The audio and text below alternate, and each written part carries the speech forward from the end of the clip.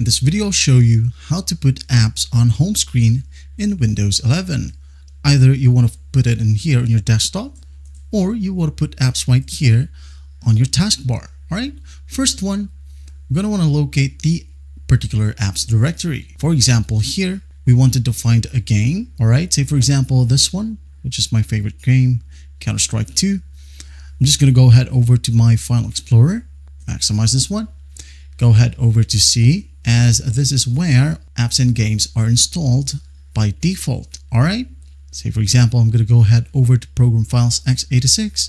You should be able to see a ton of folders right here that is named by a game. All right. For example, Steam. Then I'm going to go ahead over to Steam apps, then Common, Counter-Strike, Game, Bin, Win64, and in here, here goes my executable or the application itself. So what we're going to do to copy this to our desktop, there are multiple ways.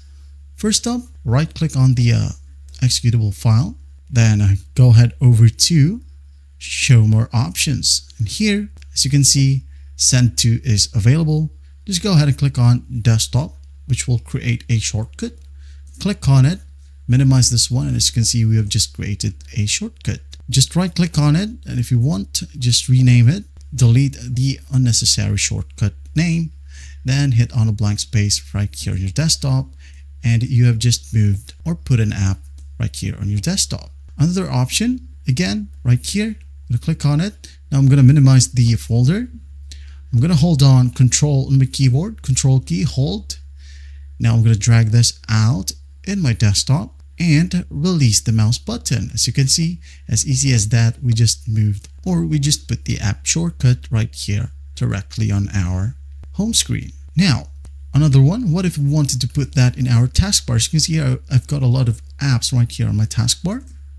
So just basically go to your search bar and type in in here, let's say for example, uh, CapCut. I'm going to type in CapCut in the right side or in the right pane, you'll be able to see pin to taskbar. Just click on it and as you can see this cute icon right here has been added and that's how easy it is to put apps on your home screen in Windows 11. Well, I hope this video helps and I'll see you in the next one.